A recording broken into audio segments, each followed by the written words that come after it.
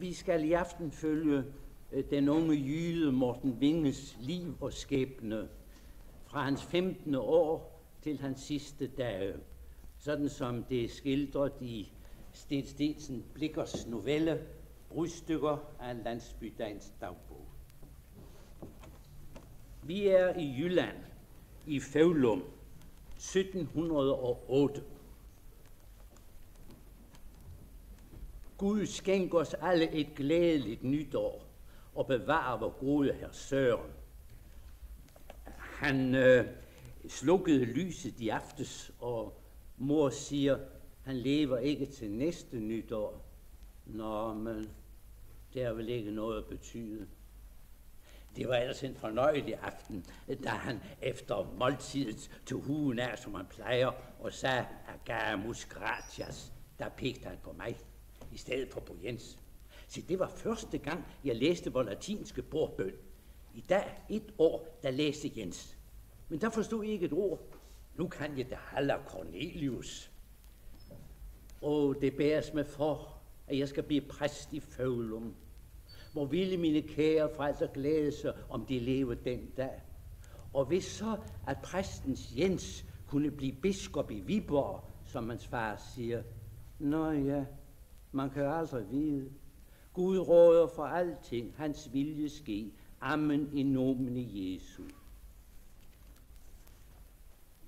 I går har jeg ved Guds nåde fyldt mit 15 år. Nu kan Jens ikke gøre med stor i latinen. Hjemme, der er jeg flittigere end han. Jeg læser, mens han løber i marken med skytte. Og sådan, så bliver han vist aldrig bisp. Herr Søren, han ser det jo nok og siger, mi fili, mi fili, o Thomas pulvina diaboli, min søn, min søn, led i gang af fandens hovedpude. Til nytår begynder vi på græsk. Herr Søren har foræret mig et græsk testamente. Nå, det er vel nogle sære karakterer. Det er vel endnu som en slibesten for dine øjne, sagde han, og så knev han mig ører, som han altid gør, når han er fornøjet. Men hele mænd, hvor vil han se, når han hører, at jeg allerede kan læse rask indenad? Det bliver fejl med Jens. Herr Søren var så vred på ham, han talte dansk til ham hele dagen. Til mig talte han latin. Øh, jeg hørte engang, at herr Søren sagde for sig selv, mm, vel, um, hunge filium meum. Jeg vil ønske, at dette var min søn, så det var mig, han mente. Og det var så skrækkeligt jammerligt, øh, som Jens hakkede i sin Cicero. Men jeg ved godt, bare, at du kom. For i forgårs, da hans far var i Vinge til bryllup, der var han med på skytte ude i Lindum skov, og en vildbasse rev hans bukser i stykker. Og han sagde til sin mor, at den tjæle tyr havde gjort. Men hun gav ham en dygtig kendhest, Harbert, den sad. Pro dolor, herr Søren er død. Hvad min misrum og jeg ulykkelige. Da vi havde sat os til bords juleaften, så lagde han skeen fra sig og så ret længe vemodigen på Jens. Frigisti kort meum, du har knust mit hjerte. Og så sukkede han og gik ind i sit sovekammer. Han kom ikke mere ud. Jeg har set til ham hver dag siden. Jeg har fået gode formaninger og lærdomme, men nu, nu ser jeg ham aldrig mere. I torsdags, der så jeg ham sidste gang, og aldrig skal jeg glemme, hvad han sagde, da han havde holdt en ret bevægelig tale til mig. Gud giv min søn et retskaffent hjerte. Han foldede sine magre hænder, lagde hovedet tilbage på puden. Pater, in manus tuas comitus spiritum meum. Fader, i dine hænder befaler jeg min ånd. Det var de sidste ord, han sagde. Da jeg så, at madammen tog forklædet for øjnene, så blev jeg ret ilde til mod og løb ud. Udenfor, der stod Jens og græd. Ja, nu kommer din alder for Sille. Men så faldt han om halsen og hulkede, og Gud forlade ham hans vildskab. Den har nu gjort mig allermest ondt.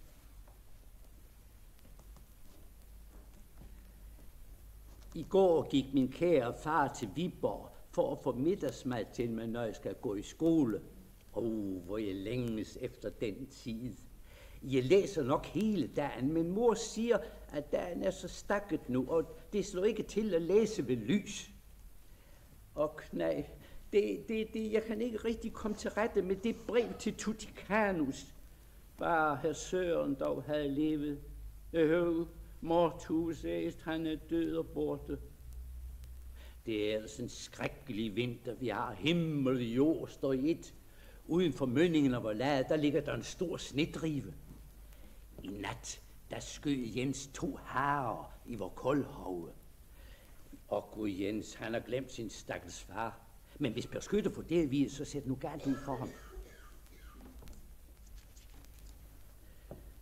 Min far, han ikke kom hjem, og vejret det lige slemt, bare han der ikke faret vild. Der går Jens op på laden. Han har en bøs i hånden og et par fugle. Han kommer herind.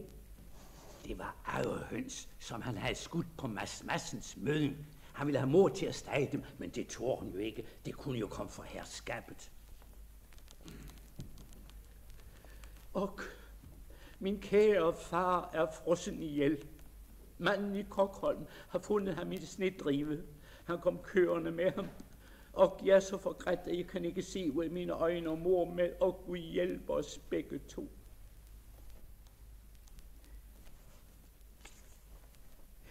Det var nær, jeg ikke havde kendt Jens. En grøn kjole havde han på, og en grøn fjer har han fået i hatten. Nå, kan du se, hvad? Nu er jeg jæger. Hvad er du? Du er en skolepævling. Du er latiner. Og Jens, men latinen kan nok være forbi. Jeg kan vist blive præst der, hvor du kan blive bisp. Men min mor, hun skal nu ikke sulte, mens jeg synger for dør i Viborg. Jeg må blive hjemme og tjene brødet til hende. Og Jens, Jens, Jens, har din far dog bare levet. Og lad os bare ikke snakke om det. Ja, jeg har aldrig kunne lære den latin. Færd med det dumme tøj. Nej, se, du må komme op på gården. Der er gode, der, der er herlig levemåde. Jamen, hvordan skulle jeg da bære med med det? Ja, vi ser ad, vi ser ad. Og så løb han sin vej. Ja, han har nu godt gemyt, den Jens. Men vildt galt, det er han. For seks uger siden begravede Jens hans herlige far. Og for tre uger siden fulgte hans mor efter. Og nu er det, som om det ikke var ham. Han kan græde den ene side, så ler han den anden. Tjæle. Så er der nu blevet tjener hos det nådige herskab. Farvel præstekald, farvel latin og i mine kære bøger. Jeg har solgt min frihed for 12 slætdaler. De otte skal min stakkels mor have, og desuden har herre lovet hende udvisning, for hun kommer hverken til at sulte eller fryse. Øh, Jens, han har rigtig skaffet mig denne stilling her på gården. Og oh, han er, han er meget at sige her. Han er, han er en pokkers Jens her. Nå, snarere en pigernes Jens. Mm, Husholdersken, hun stak et stort stykke kage til ham. Og Mejersken smiskede så venligt til ham, og fruepigen også. Ja, om så en af frøknerne, så nikkede hun så mildt, da hun gik forbi. Men øh, det lader til, at han skal blive skyttet i Persted. Det værste det er nu, han er vendt sig til at bande værre end nogen matros. Det går med ret godt. Gud være lovet.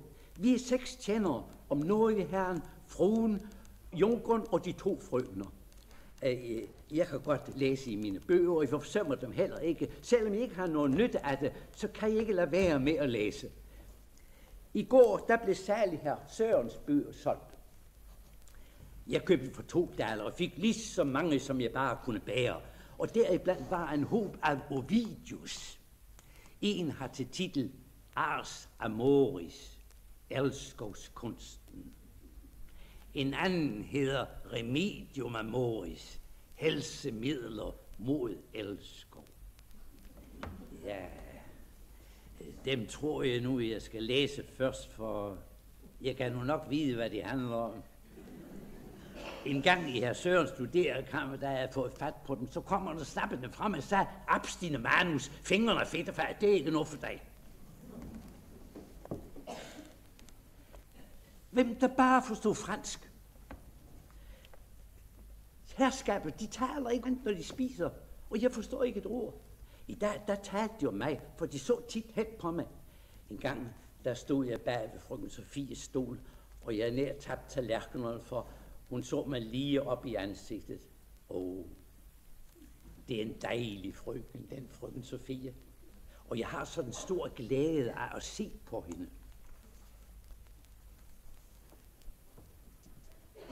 I går var her ret en urolig dag. Den her var stor jagt, og de var kommet med fra Biskum. Jeg var jo også kommet med, og jeg har fået en af noget herrens bøsser. Ja, i første ende så gik det ret godt, men så pludselig så kom der en ulv forbi mig. Jeg blev så forskrækket, at jeg nær havde tabt bøssen, og jeg glemte rent at skyde. Jens han stod ved siden af mig, han skød ulven. Du er høve, sagde han. Men jeg skal ikke røbe dig. I det samme så kom noget herren forbi. du er den fjov, Martin. Jeg beder alle underdanigst om forladelse. Jeg øh, skal tjene jer ærlig og tro. Jeg er ganske uskyldig i, hvad der er sket, men jeg må sikkert have haft onde fortaler hos Norgeherren. Så lå han endnu mere og sagde, du er den store fjov, Martin. Men det var nu ikke forbi med det, for da vi kom hjem, og de sad ved bordet, så begyndte de igen at snakke om ulven og alt, hvad den havde givet mig, og for ikke at skyde den, og jeg ved som ikke, hvad de mente, men det kunne jeg forstå, at de gjorde nar med det både på dansk og på fransk. Om så var frøken Sofie, så lå man lige op i ansigtet, og det gjorde mig nu mest ondt. Må ikke også skulle kunne lære det snøvle mål. Det kan ikke være værre øh, end latin. Jo, det er slet ikke umuligt. Det siger jeg nok. Fransk, det er jo ikke den gal latin. Øh, mellem en hoben bøger, som jeg købte, fandt jeg en, en metamorfosis på fransk. Så det passer sig ypperligt, for det latinske, det forstår jeg i forvejen. Men der er en ting, der er så forunderlig. For når jeg hører dem deroppe øh, diskurere, øh, så synes man ikke, at der er et fransk ord imellem. Nej, det er ikke om Ovidius, at de taler. Nej. Øh, jeg kommer også til at lægge mig efter at skyde for noget her. Han vil endelig med ved på jagt. Mm, men øh, jeg kan aldrig gøre ham til pas. Enten så skælder han, også så lærer han, og samtidig gør han begge dele på én gang. Jeg bærer bøssen galt, jeg sigter galt, jeg skyder galt. Nej, jeg må have Jens til at undervise mig. Se det, Jens. Det er en jæger. Hvad er du? Hvad? Du, du bærer jo bøssen, som var det en hylde, du havde på nakken. Og når du sigter, ser det ud, som du skal falde bagover. Og, så også frøken Sofie, hun, hun lever samme. Men det klæder hende nu godt, for hun har sådan kønne tænder, frøken Sofie. I går skød jeg en rev. Noget herren, han, han gav mig et indlagt krudthorn. Ja, det, det er, han kaldte mig en brav garçon. Ja, det er som helt morsomt med det her skytteri. Og med fransken går det også bedre. Jeg begynder at komme efter udtalen. Forleden, der lyttede jeg, da mamsellen læste med frøknerne. Det var uden for døren. Og da det var færdigt, så læste jeg mig for at se, hvad det var for en bog, de brugte. Og hele mænd, hvor blev jeg forbavset. For det er netop en, som jeg har, og som hedder L'École du Monde. Se, nu står jeg hver dag uden for døren med min bog og lytter til. Ja, det går meget godt an. Og det franske sprog, det, det er nogle nydeligere, end man tænker det, og især når frøken Sofie taler det. I går frelste Gud min nåde herre ved min ringerhånd. Vi havde jagt i Lindum skov, og da vi får grok herfor, så kommer der en vildbasse, som søger herren. Ja, han øh, skød og traf den rigtig nok, men det forslog ikke. I det så trækker han sin hirsfænger han var ikke bange, og ville støde den i bringen på svinet. Men hirsfængeren går midt over. Det hele, det skete i sådan en håndevending, at ingen kunne komme derhen. Og lige i det øjeblik, da jeg vil til hjælp, så ser jeg noget i herren på ryggen af vildbast, og den er sted med ham. Skyd, råber han til øh, ridefoden, som stod på hans venstre side. Han tror ikke. Skyd, djævlen og ben, råbte han til Jens, der var på den venstre side. Jens bøsse klikker. Nu kom bassen lige ned mod mig. Skyd, Morten, ellers rider bassen af helvede til med mig. I Guds navn, tænkte jeg, og så holdt de på bagparten. Og så var jeg så heldig at knuse begge baglår. Og glad blev jeg, jo, glad blev vi alle sammen, men mest om glad noget her. Det var et mesterskud. Jeg holdt du den bøsse, du brugte så vel. Og I, ride fod, stempel mig den største by i skoven til hans mor. Jens kan gå hjem og sætte en bedre sten på sin bøsse. Og da vi så kom hjem, åh, så var der en snak og nogen fortællende, og, og, og når vi her en klappede med på skulderen, og, og frøken Sofie, hun, hun smilte sådan til mig, at mit hjerte, det sagde i halsen på mig.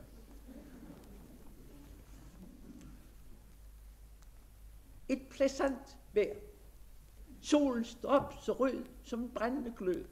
Det ser helt curiøst ud, når den skinner sådan gennem de hvide træer, og træerne pudrede, og de grene, de hænger langt ned mod jorden. Sådan et vejr var i dag, otte dage, da vi kørte til Fussingø i Kane, og jeg stod bag på frøken Sofies. Da vi havde kørt et kvarters tid, så ville hun jo selv køre, men så begyndte hun at fryse om de små fingre.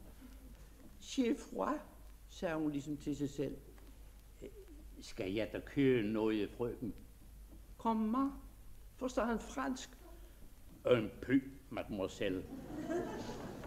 Jeg tog en tømstreng i hver hånd og holdt den omkring hende. Men jeg holdt den vidt ud, for ikke at komme ind for nær. Men hver gang jeg kan, gav sådan et slæng og kom til at berøre ved hende, uh, så var som jeg rørte med en varm kakkelov. Det var med, som vi for gennem luften, og inden jeg så mig om, så var vi ved Fussingø. Hvis ikke hun har råbt til Nimmertan, arrêtez så vil jeg kørt forbi. Jeg var kørt lige til Randers. Jeg var kørt lige til verdens ende. Åh, oh, må hun ikke ville ud og køre i dag igen. Nej, nej, der kommer Jens med herrens bøsse, som han har gjort ren. Nej. Og nej, så skal vi nok på jagt. Jeg, jeg er ikke rigtig frisk. Det er ligesom, der ligger noget tungt på brystet af mig.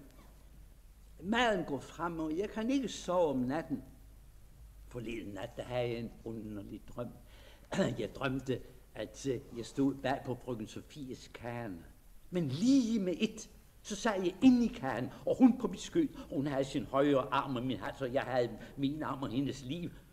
Og så bøjede hun sig ned og kyssede mig, og så vågnede jeg. Og hvor ville jeg gerne være blevet ved med at drømme. Øh, det er ellers en rar bog, den hun lånte mig. Jeg diverterer mig med den hver aften. Og hvem der kunne blive så lykkelig som den tartariske prins. Jo mere fransk jeg læser, des bedre synes jeg grunden om det. Jeg er som nær ved at glemme i latin over det. I går, da vi kom hjem fra jagten, så sagde noget her til mig, øh, jeg hører, du forstår fransk. Kun lidt, lidt noget i herren.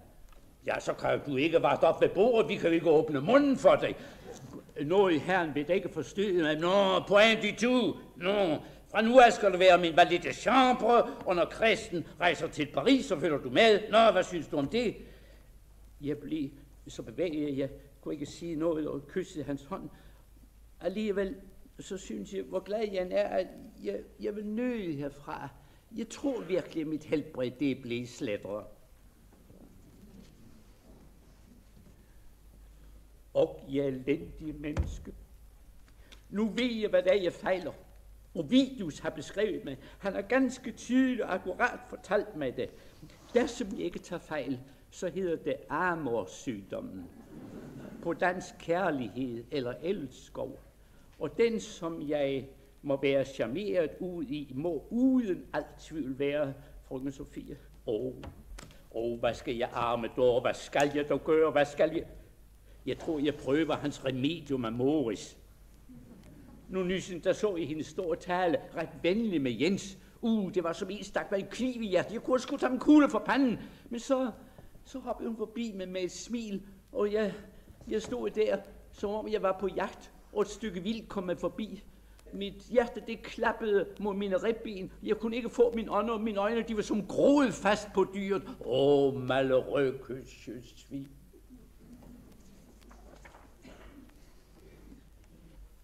Og hvor gården tykkes mig øget og kedsommelig nu.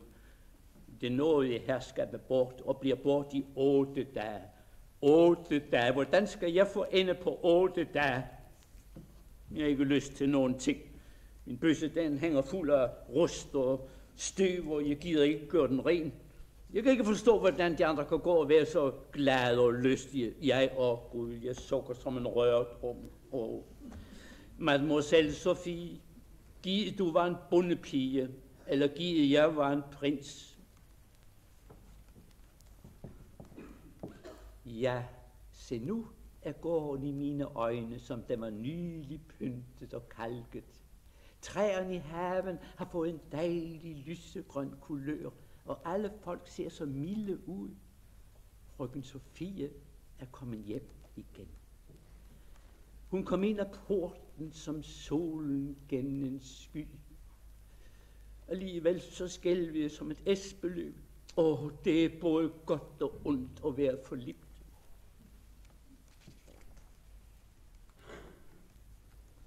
I går fulgte min kære mor til hendes sidste hvilested. Den nye præst, Gud lønner han for han hævede hendes henfart med en ligeprækken, der varede i syv kvarter. Gud give hende en særlig opstandelse. Hun var med en god og en kærlig mor.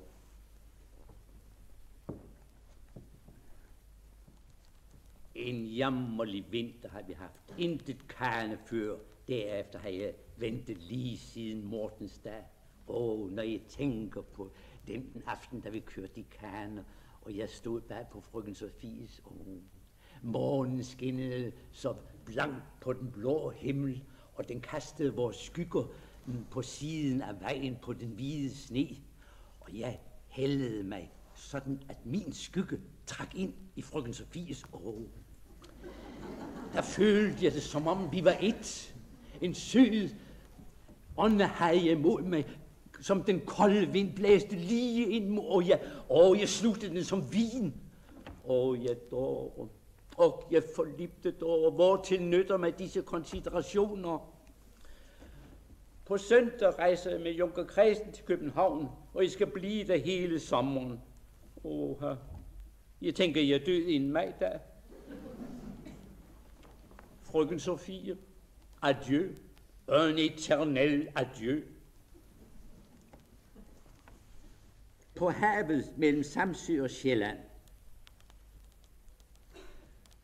Solen går ned bag mit kære Jylland. Den skænskin lægger sig som en uendelig ildvej over det rolige hav. Den ligesom hilser mig fra mit hjem, og det er langt borte, og det kommer længere og længere bort. Hvad må de nu bestiller på tjæle, og man taler om mig? Det ringer for mit højre øre.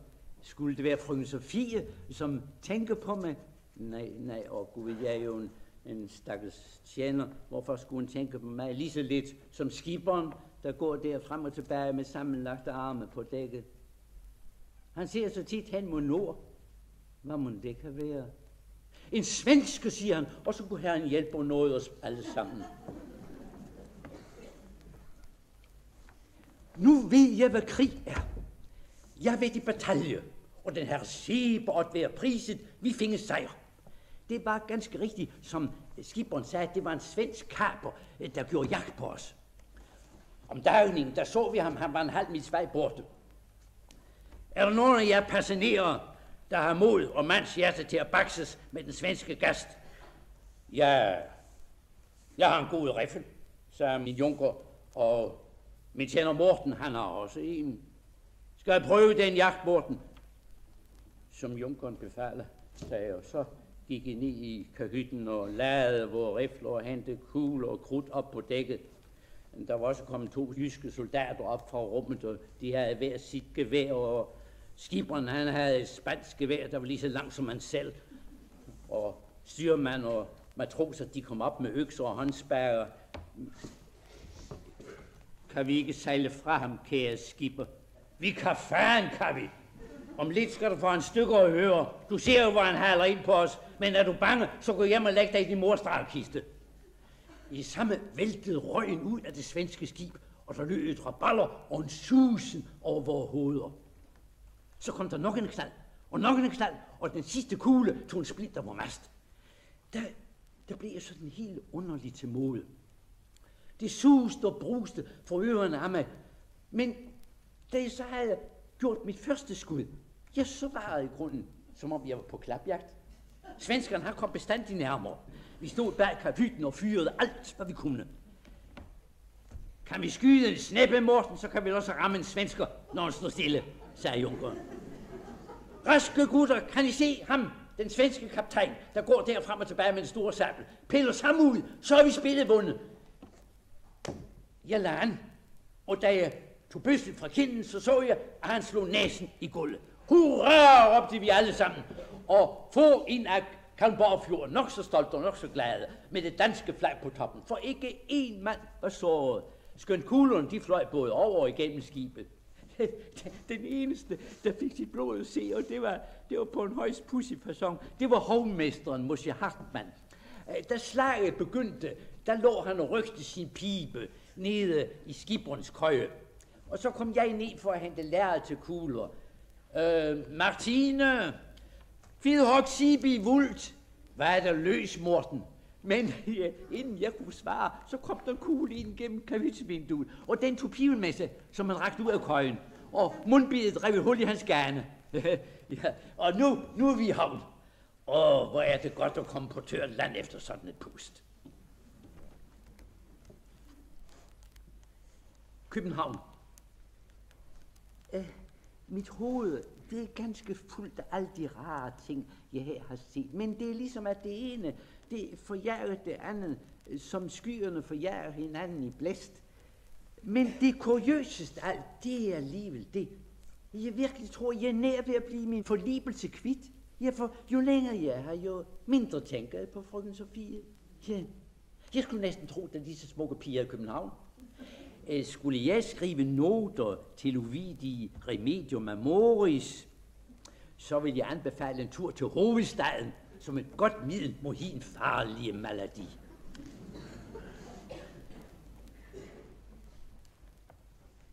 Til Ankers uden for Kronborg. Ak du milde himmel, hvad har jeg dog hørt og set? Hvad har jeg elendige mennesker oplevet? Gud har hjemsøgt os for vores sønder. Han har slaget folket med bylder. De falder som fluer. Jeg uværdige, jeg blev udfriet af dødens strube. Men min stakkels junker, og hvad skal jeg dog sige, når jeg kommer hjem uden ham? Men jeg forlod ham ikke, før han udgav sit sidste suk. Jeg vågede mit liv for ham, men Gud skånede det. Tavse, bange, sad vi i vores ensomme bolig fra morgen til aften, så på hverandre og sukkede. Kun sjældent så vi ned i de tavse, triste gader, som før vrimlede af mennesker. Nu skred der kun en og anden triste figur hen over brostenene som en genganger, og inden for vinduerne, der sad folk som arrestanter. De lignede malede portrætter. Hørte de så den hule rumlen af pestdragernes vogne? Hvor for de så fra vinduet, for ikke at se det redselsfulde syn? Jeg så det kun én gang, men jeg skal ikke forlange at se det oftere. Der kørte disse sorte dødsengle med vogne fulde af lig. De lå slængt oven på hinanden som fæ. Bagud af vognen hang kroppen af et ung kvindemenneske, og armene også, og øjnene stirrede fælt ud af det sort gule ansigt, og det lange hovedhår slæbte hen langs brostenene.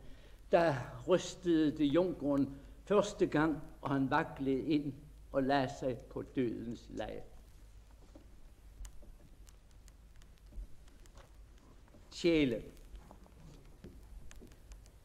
så er jeg da nu her igen. Og da jeg gik ind ad porten, så skælvede mit hjertes akkurat som dengang vi sloges med svensken. Og da jeg trådte ind til den nådige herskab og så dem alle i sort, så græd jeg som et barn, og de græd med. Jeg kunne næsten ikke ende min historie for gråd, og inden min afrøset omtale var forbi, så vendte noget herren sag og gik ud til sit værelse.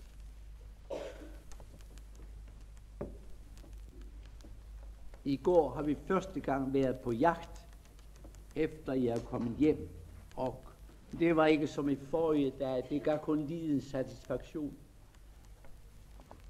Morten, Morten, vi savner Junker Kristen. Det sagde noget her en hvert øjeblik. Og så sukkede han, så det skar mig i hjertet.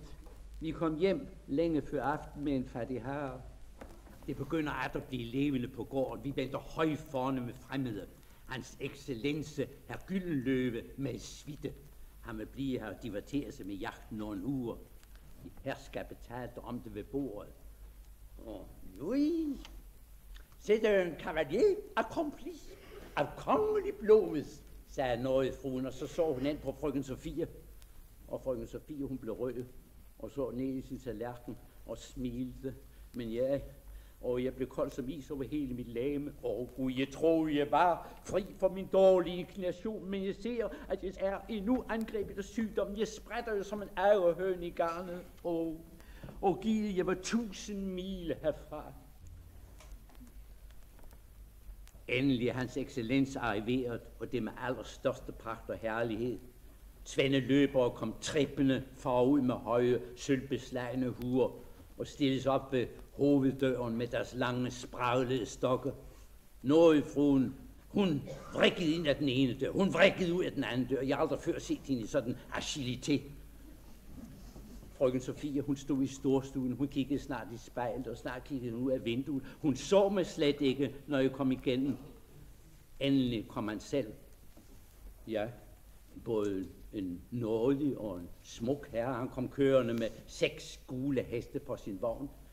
Han så noget og fornem ud, men alligevel så synes jeg, det var sådan noget modbydeligt ved ham. Han smilede så vammelsødt, og så plærede han med øjnene, som om han så op mod solen.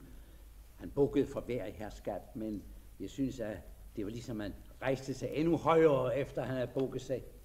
Da han kom til frøken Sofie, så viskede og læspede han en lang fransk kompliment, og der kom lidt blod op i hans blege ansigt.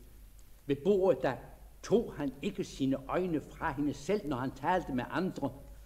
Og hun, hun sad og skottede imellem over til ham.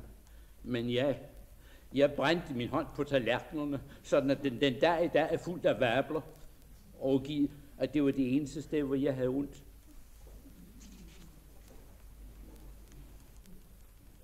Jo, og jo, jo, der bliver en mariage af. Man behøver blot at attendere den nådige frue. Når hun ser hen på frøken Sofie, så lægger hun hovedet tilbage, akkurat som en and, der har fået krogen fuld. Og så, så siger hun, Oui, oui, ma fille, c'est un cavalier accompli. Og elle vous aime, c'est trop clair. Og så lukker hun øjnene, akkurat som straks den skulle falde i søvn. Ja, det er sandt nok. Hun elsker vel også ham. Nå, ja, giv de så dem at blive lykkelige. Endnu har hans excellens ikke profiteret for meget af jagten. To gange har vi været ude, men hver gang har han vendt om på halvvejen. Der er et stykke vildt hjemme på gården, som trækker ham som en magnet. Oh, Gid jeg dog var blevet i København. I dag blev mariagen deklareret, og i dag otte dage skal brylluppet stå. Ja, hvad skal jeg gøre? Hvor, hvor skal jeg skjule mig så længe? Jeg holder det ikke ud. Når han lægger armen om livet på hende, så var der som en stak med en kniv i hjertet. Og Gud forbarme mig, tror I ikke også, at det går Jens ligesådan? For da jeg fortalte ham det om mariagen, så støtte han bøssen sådan mod jorden, at kolben gik i stykker. Og så løb han med skaftet ud i heden. Nå, så er jeg da ikke den eneste nar i verden. Så har jeg atter rejst mig fra mit lange sygeleje. Jeg håbede, det skulle blive det sidste, og jeg bad til Gud om forløsning, men jeg skal endnu vanke om i denne jammerdal. Disse tre måneders sygdom, de forekommer som hele tre år. I går, der så jeg hende for første gang, efter at jeg blev lagt ned, og i grunden med god kontinence. Næsten skulle jeg tro, at sygdommen havde taget min dårlige forlibelse med sig. Hun så lidt bleg ud, heller ikke ret fornøjet. Nej, jeg kan godt forstå det, for hans excellens er vist en stor libertiner. Forleden, der så jeg gennem sprækken på min dør, at han tog fat på fruens pige, og det på en højst indecent maner. Åh, den stakkels frøken Sofie. Hvis jeg var hans excellence, jeg skulle elske hende som en engel ud af himlen. Hans excellence er rejst bort, og han har ladt sin kæreste blive her tilbage. Han var nok allerede ked af hende, og Gud forlade mig, tror jeg ikke også, hun var ked af ham. Ja, hun er da lige så mundt og lige så vive som før. Ja, næsten mere. Men alligevel er og til sådan lidt forfærdig. Samtidig behandler hun mig som en støder, og samtidig som jeg var hendes mand. Jeg tror hardt, at hun vil holde mig til bedste. Og jeg arme, fattige stakkel, jeg kan ikke blive klog endnu. Hun kan gøre mig bedrøvet, hun kan gøre mig glad, akkurat som hun vil. Jens har byttet kammer med mig. Han øh, holdt ikke af at ligge i sit eget. Det vendte ud mod kirkegården, og den tosse, der skal han da ligge en gang på bestandig. Jeg er ganske glad for byttet, for herfra kan jeg se mine kære forældres grave. De er velbevarede, gudglæde, der sjæl i himmeri. Og hist er herr Sørens grav. Der er grotisler på den, synes jeg. Dem skal jeg da se at få luet bort. Fruens pige har bekommet en liden søn. Hun har udlagt en kniblingskræmmer, men hele gården ved nok, hvem den skyldige er. Tænk, den unge frøken, hun har selv regeret med det. Oh, jeg forstår ikke, hun kan. Men hun tager sig verden let. Jeg er nu ikke af den natur. Drømmer jeg, eller er jeg vågen? Har mine sanser duperet mig, eller var hun min? Jo, jeg har fagnet hende med disse mine arme. Hun har hvilet ved mit bryst. Hun har dækket mit ansigt med kys, med hele kys. Og nu, nu vil jeg gerne dø, for så lyksalig kan jeg aldrig blive mere. Åh oh, Gud, men hvordan er det fast med mig? Hvad er det dog, jeg har gjort? Og jeg, jeg frygter, jeg, jeg blev vanvittig. Lad mig i min hukommelse tilbage kalde disse duse øjeblikke. Lad mig ret erindre, hvor lyksalig jeg var. Det er ligesom jeg er opvågnet fra en rus. Herren var kommet hjem fra skoven, og Jens var blevet derude for at kaste taks ud af en, af en grav, hvor de sad fast. Så vidste jeg, at han kom ikke hjem før dag, og så fik jeg senere lægge mig i mit forrige kammer. Jeg var næppe indslumret, før jeg blev vækket af et kys. Forskrækket rejste jeg mig op og ville råbe. I det samme mærkede jeg en blød arm om min hånd og en viskende sød stemme, og det var hendes. Hendes, som jeg ikke tør nævne, og der, åh, jeg synder. Åh, jeg forstokkede synder. Ja, jeg får min herre, det har jeg. Og jeg kan ikke engang rette hjertet fortryde det. Hver gang jeg vil gøre penitense, så forhindres jeg af en særlig fryd. Ja, ja, jeg lige frem længes efter at repetere den misgerning, som jeg jo burde forbande. Evindelig min, det var det første ord, jeg kunne fremføre. Men drev hun til løs med let skrig ud af mine arme. Døren knirkede, og jeg var alene. Det hele, det forekom som om det var spøjeri. Jamen, hvorfor flygtede hun? Hvorfor kom hun ufristet, ukaldet? Har hun elsket mig, som jeg hende, tavs, inderlig, brændende?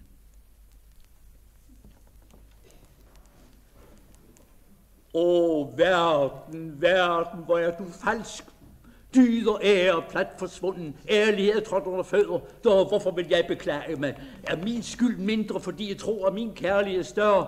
Jeg får min fortjente straf. Vi er lige gode, den ene forråder den anden. Og du, falske kvinde, du, Potipars hustru, derfor var det, at du skreg og fløj ud af mine arme. Du, du, som søgte min seng, nej ikke min, men Jenses seng, af gammel vane, af gammel kærlighed. Tavs, stille vandrede ved midnat, drukken af søde erindringer i vor have. I en mørk gang så jeg noget røre sig. Det bare som for, at det måtte være hende, og hastig en ilede derhen.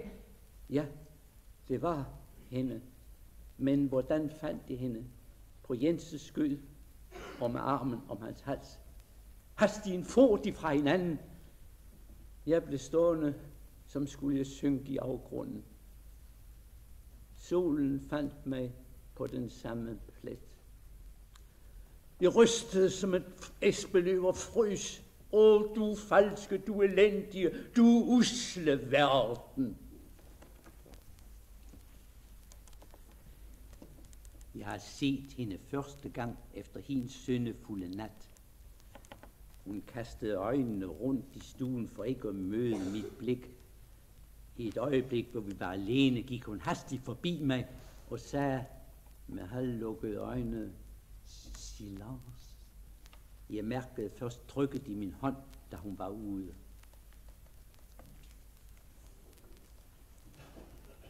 Alt er opdaget. Herren, fruen, hele gården ved det, og det er mamselle Lapus, som har røbet dem. Den unge frøken ville gerne raljere med hende, og det har hun sat sig bag øret. Ingen vidste jo, at den listige kvinde kunne dansk. Og så en dag har de været uforsigtige i hendes værelse og sagt noget, hvor hun fik vinden. Og så har hun gået så længe på sporet, til hun får det ud og kigget dem i leje. Åh, himmel, himmel, sikke det oprørte blik. Herren, han løb rundt med en bøsse, rasende. Han ville skyde Jens, men Jens har allerede på hesten langt borte. Den unge frøken, hun var blevet lukket ind i hjørnestuen, for at herren ikke skulle forgribe sig på hende. Åh, oh, himmel, himmel, himmel, hvad ende skal dette få? Jeg skælver, hver gang jeg hører hans stemme. Anger og frygt har sådan betaget mig, at min kærlighed og min jalousi, og det er rent forsvunden, givet jeg var tusind mile under jorden.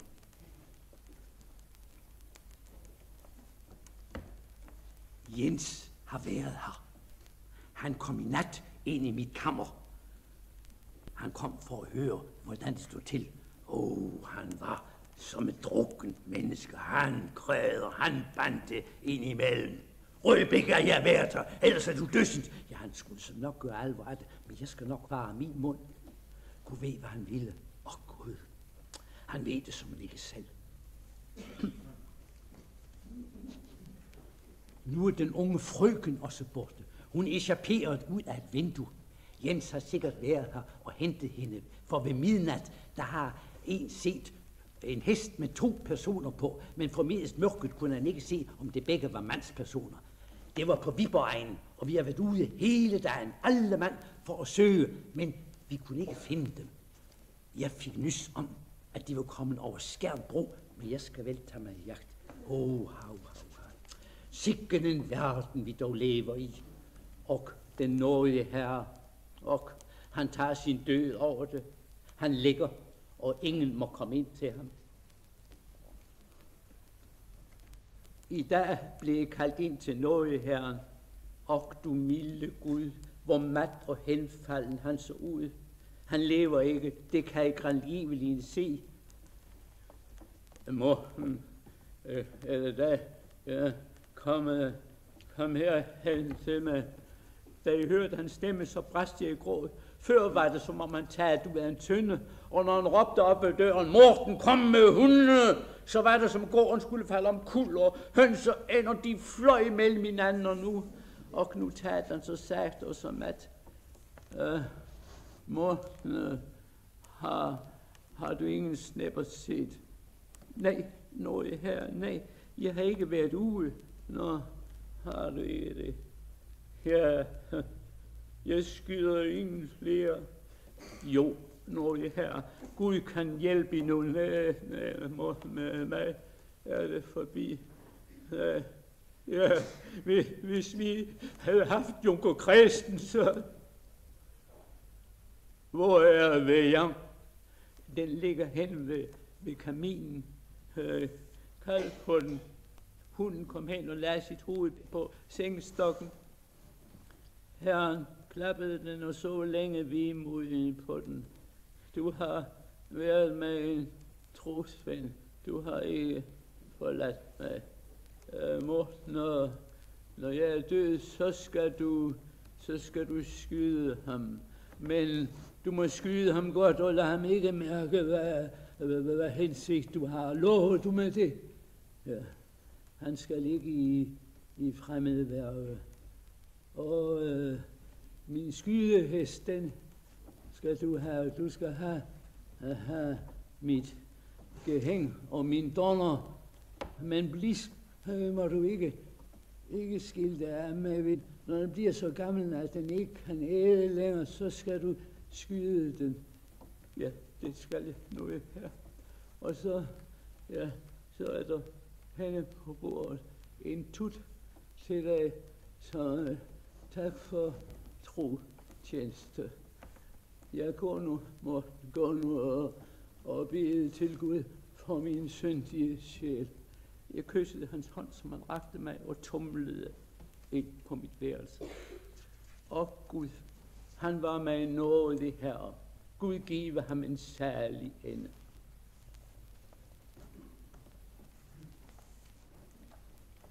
Så er han der også hjemfaren. Nu har jeg ingen ven mere på jorden. Nej, her vil jeg ikke blive. Jeg må ud i verden og skille mig ved mine melankolske tanker. Og, stakkels væger, da jeg tog bøssen, så sprang han så gladeligt omkring. Han vidste ikke, at jeg førte ham til døden. Nej, sådan et skud, det gør jeg aldrig mere. Da jeg spændte bøssen, og han hørte knækket, så lovede han og så sig om, som om han ventede et stykke vildt. Og da krudtet tændte, og han krummede sig i dødens krampe, der var det, som hjertet skulle vælte ud af brystet på mig. Åh, kære, kære herre, det var den sidste og tungeste tjeneste, jeg gjorde dig. Til sejls under Tunø. Anden gang, måske sidste gang, siger jeg dig farvel, mit kære fødeland. Farvel, du grønne skov, du brune hede, let om hjertet var jeg, da jeg for tvende år siden pløjede disse bølger. Der havde jeg min kære herre. Nu er han i graven. Min junker også. Og hun, hun, som jeg gerne ville glemme. Hun drejer om i verden. Gud må vide hvor og hvordan. Jeg vil også prøve lykkens spil. Jeg vil æde mit brød blandt vildfremmede. Krigen vil jeg prøve. Den giver brød eller død. Blis og jeg, vi skal følges ad. Her sidder jeg nu fangen mand i fremmed land. Så langt har min kår hjulpet. Min oberst gjorde lyst mellem fjenderne, men vi var kun to mod ti. Og min gamle blis, du måtte dø. Giv, vi havde fuldtes alt. Stockholm. Nej, således kan det ikke blive ved længe. De har slæbt mig fra den ene fæstning til den anden. De har truet mig, og de har fristet mig til at tage tjeneste, men hellere vil jeg svelte til døde i et underjordisk fængsel, end jeg vil fægte mod min herre og konge. Allerhelst vil jeg dog forsøge at få min frihed. Norrköping. Så blev jeg alligevel svensk soldat. Hvor længe jeg end hyttede mig og skjulte mig som et vildt mellem skov og klipper, så fandt de mig dog. Ja, hvad skulle jeg gøre? Heller i Guds frie natur mellem kår og kanoner, eller mellem et fængsels fire vægge. Og de har lovet mig, at jeg skal ikke fægte mod mine landsmænd, men alene mod moskovitten. Han har måske den kugle, der bærer Morten Vinges navn. Sibirien 1721. Herre, du milde Gud, hvor underlig er dine veje. Her færdes jeg tusinde mile fra Danmark i et råt og sørgeligt land. Jeg går over tilfrosne floder, jeg vader i sne til knæene. Hjemme, der er mark og skov iklædt sin grønne sommerdragt. Uden for mit vindue står abbilen i blomst. Irsken kvider i stikkelsbærhækken. På kælen sidder stæren og fløjter. Lærken synger højt i sky. Her tuder bjørn og ulver. Ravn og høge skriger i de sorte skove. Hvor er enden på denne udørker, hvor er enden på mit elendige liv. Riga, 1743. Skal jeg igen opleve den dag, da jeg ser mit fødeland. I 24 lange sorgfulde år, i 24 lange vinter, har jeg fanget sol og mor i de sibiriske skove, og hvor mæt af livet har jeg ikke længe været. Men jeg skal bide til min herre og frelser kalder mig. Han vil måske lægge mine trætte lemmer til hvile i mit fædrene jord. Ak, hisset ser jeg det danske flag, korsets og frelsens dyrebare tegn, min sjæl lov Herren. Falster 1743 atter nær ved døden og atter langt fra den. I storm og uvær nærmede jeg mig mit elskede fødeland. Bølgerne knuste vort skib og truede med at opsluge os, men Herren frelste mig. Hans hånd opholdt mig, og han vil heller ikke træde den frem nu, hvor jeg vanker fattig og halvnøgen mellem fremmede. Korselisse 43 et fristed har jeg fundet. Et skjul for verdens storme. En from og ædel herre har taget mig sit brød og lovet beholde mig til min døde dag. Så skal jeg ikke skifte bopæl, før de bærer mig til den sidste. Og du barmhjertighedens fader, var denne bitre skål endnu tilbage skulle de gamle sår oprives på ny. Jeg har set hende. Nej, nej, nej, ikke hende, ikke hende. En falden engel har jeg set, en mørk hendes gestalt. Længe har jeg været træt af livet, men nu ækles jeg ved det. Nej, jeg kan ikke skrive mere.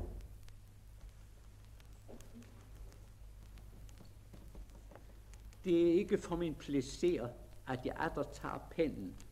Men hvis nogen efter min død skulle få øje på denne journal, der skal han se, hvordan synden lønner sine børn. Jeg gik helt bedrøvelig dag i vores smukke have for at foretage en promenade. Da jeg kommer ud for den åbne stakitdør, så ser jeg, der står en mand, hvis ansigt jeg syntes, jeg kendte, vagte det sort gråt skæg og et skummelt øjekast næsten forskrækkede mig. Nå, er du her? Men du milde Gud, stokken faldt med hånden. Det var Jens. Jamen, jamen, jamen, hvordan, hvordan går det til, at, at, at du, du er her, Jens? Jens, mor er frøken Sofie. Frøkenskabet, det er faren taget og frueskaben med. Men vil du lade se min hjertekone, så ligger hun derhen og lurer. Hej, Sofie, Sofie, her er bekendtere. Hun vendte sig halvt om og så et øjeblik på mig, drejede sig derpå bort og lue igen. Hun lå kun tre skridt fra mig. Der var ikke den mindste bevægelse at se i hendes ansigt. Dette fordom så dejlige ansigt. Åh, oh, hvor var det forandret bleggult, rynkent. Det var så fortrædet i sit udtryk, som om det aldrig nogensinde havde smilet. En sort kyse havde hun på med lange, sorte, lasede kniblinger, som gjorde ansigtet endnu mørkere. Om hendes tykke, ildedannede krop hang pjalter af klæder, der før havde været smukke og fine. Jeg var nær ved at få ondt. Mine tårer kunne ikke komme i øjnene. Jeg stod stille og kunne ikke sige noget. Jens vagte mig af min bedøvelse.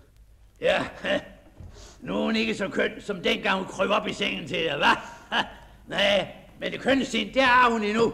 Ja, for selvom for gyldne går jeg hende storagtigt maliciøs, det er hun. Hej, noget frue, snak lidt til os.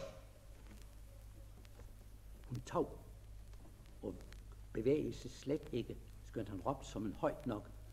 Nej, forstår du mig, nu ville det hende ikke. Men når hun kommer hjem, så skal hun sgu nok få kæften på gang. Og Morten, har du ikke lidt til en pæl for gammel bekendtskabers skyld? Jeg gav ham noget og gik i søvne op til gården. Og ved hoveddøren, der stod min herre. Kender du de mennesker? Ja, ja jeg, jeg kender dem. Jeg har, jeg har Det er slette folk. Uh, hun er arg og bansat, og han drikker som en svamp. De har boet på år nede ved stranden i et hus. Hun gør havearbejde her, og han fisker. Hun skal være kommende skikkelige folk. Nu først kunne jeg lette mit hjerte, og mine tårer strømmede, da jeg fortalte ham, hvem hun var. Og hans forfærdelse var lige så stor som min bedrøvelse.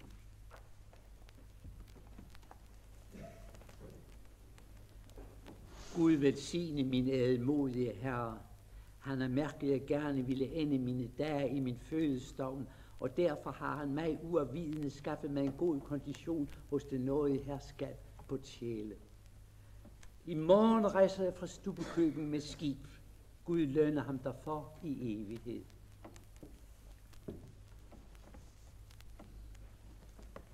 Om sider er jeg da indløbet i min sidste vinterhav. Mere end 30 år er jeg omtumlet på verdens vilde hav. For at ende, hvor jeg begyndte. Hvad har jeg udrettet? Hvad har jeg vundet? En grav? Et hvilested hos mine forfædre? Det er noget, og slet ikke så lidt. Jeg har bekendter både over og under jorden. Hist står abilen uden for mit kammervindue. Den er også blevet gammel. Der er kræft i den stamme. Stormen har bøjet dens hoved, og på dens grene grå mosset som grå hår på en oldings hoved. Henne ved kirkevejen står den store ask, under hvis ro jeg begrov stakkels ved jang. Sådan genkender jeg mange det træ, mange en tue, Jeg selv de døde sten, der står her gennem årtusinder og ser en slægt efter en anden vokse op og forgå. Den slægt, jeg tilhørte, den er også borte nu. Nyt herskab, nye tjenere. Jeg er en udlænding, en fremmed blandt dem. I dag er det 56. 20 år siden jeg så verdens lys. 56. 20 år. Hvor er dog alle disse år blevet af? Alle disse tusinder dage? Hvor er mine ungdomsglæder? De er hos mine ungdomsvenner. Og på denne årsens tid var det vi ret nød jagtens glæder. Hvor gik det lystigt til, når vi drog ud om morgenen? Jægerne råbte, og hundene gød, og hestene stampede lige så utålmodige som vi selv. Og vi opsøgte urfuglen på heden og de vilde dyr i skoven, og med sang og spil får vi ud og hjem. Nu, nu er her som i et kloster. Noget i Herren bryder sig ikke om jagten. Tavs og ene går skytten ud, og stille kommer han tilbage.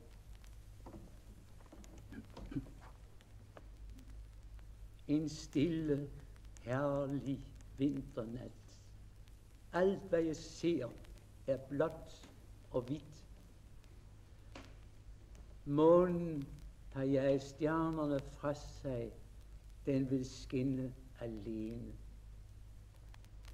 Så dejligt skinnede den også en gang for mange, mange år siden, da jeg var kusk for frøken Sofie.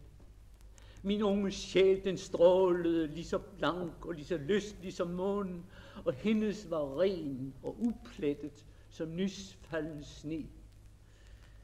Nu er min sjæl mørk som heden, og vintersneen er bortøet, og hendes, om hun lever, må være som en sibirisk dal efter oversvømmelsen. Mørk furet af vandstrømme, trin bestrøget med tur, sten og nedvæltende træer.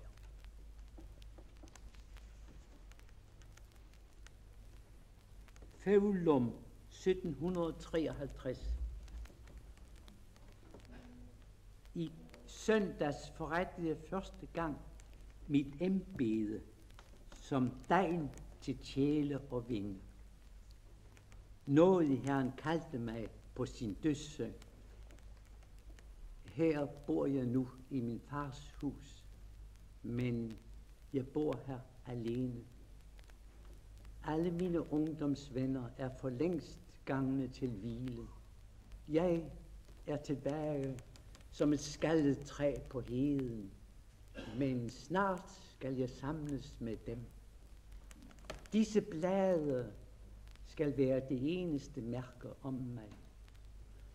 Om nogen engang læser dem, der skal han sukke og sige, han anlangnes et menneske, hans dage er som græs. Som et blomster på marken skal han blomstre. Men når vejret farer hen over det, der er det ikke mere, og det sted kendes ikke mere. Men Guds miskundhed er fra evighed til evighed.